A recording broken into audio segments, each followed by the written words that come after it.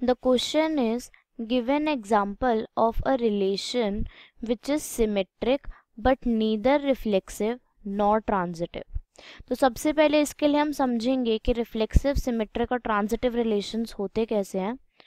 तो सबसे पहले हम देखते हैं रिफ्लेक्सिव रिलेशन क्या होता है।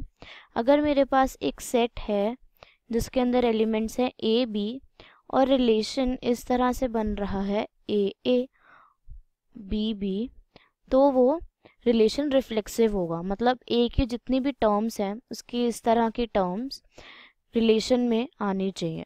इसके बाद देखते हैं कि सिमेट्रिक रिलेशन क्या होता है। एक रिलेशन सिमेट्रिक तब होता है अगर ए भी मेरा बिलोंग कर रहा है रिलेशन में और मैं ये प्रूव कर दूँ, उसकी मिरर इमेज जो बन रही है बी ए वो भी बिलोंग कर रही है रिलेशन में तो वो सिमेट्रिक हो जाएगा। उसके बाद एक रिलेशन ट्रांजिटिव कब होता है? अगर ए बी बिलोंग कर रहा है रिलेशन में बी सी बिलोंग कर रहा है रिलेशन में, और हम ये प्रूफ कर दें कि ए सी भी रिलेशन में बिलोंग करेगा तो वो ट्रांजिटिव हो जाएगा।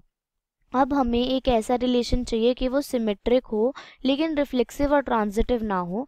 तो इसके लिए हम पहले एक सेट लेते हैं ए वन टू थ्री तो हम कैसे करेंगे फिर? रिलेशन आर हमारा क्या बनेगा? उसको सिमेट्रिक बनाने के लिए अगर हमने वन टू लिया है तो हम टू वन भी ले लेंगे। अब ये रिफ्लेक्सिव तो नहीं है, क्योंकि इसके अंदर कोई भी डबल टर्म जैसे one one two two three three नहीं आ रही तो ये रिफ्लेक्सिव नहीं है। उसके बाद ये ट्रांजिटिव कब होता? अगर इसमें वन वन बिलोंग कर रहा होता, इसमें वो भी बिलोंग नहीं कर रहा तो ये एक ऐसा रिलेशन है जो कि सिमेट्रिक है, लेकिन रिफ्लेक्सिव और ट्रांजिटिव नहीं है। That's it